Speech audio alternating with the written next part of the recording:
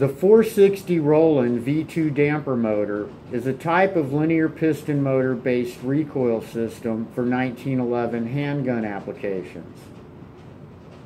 During slide opening, a V2 acts as an air pump.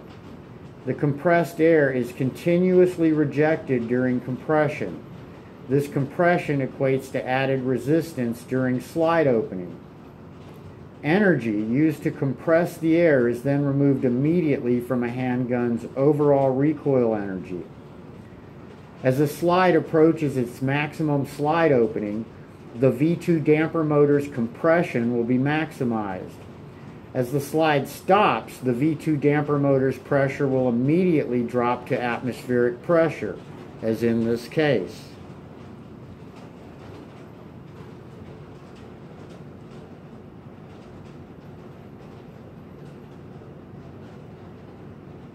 At maximum slide opening, the compression energy has been removed from the equation and only any surviving mechanical rebound energy and recoil spring energy is available to close the slide. During slide closing, the slide must overcome the V2 damper motor's resistance. The energy required to overcome this resi resistance is then immediately rejected working against a vacuum, as in this case.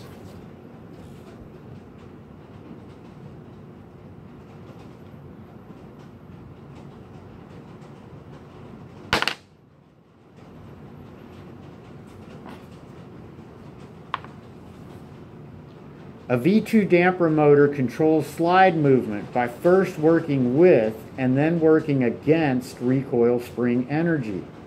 A V2 damper motor's efficiency generally increases with increasing slide velocity and increasing air density.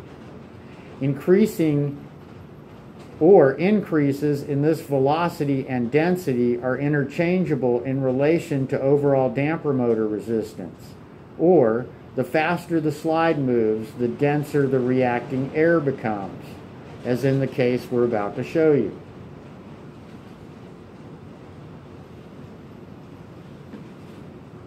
This is an increase in density, not an increase in velocity.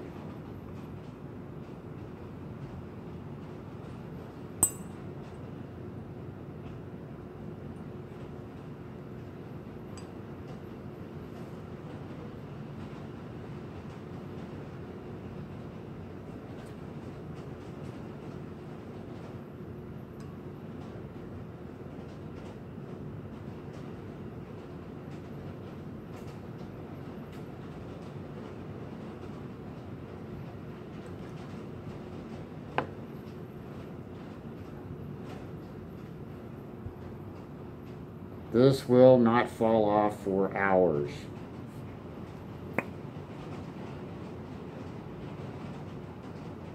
Thank you.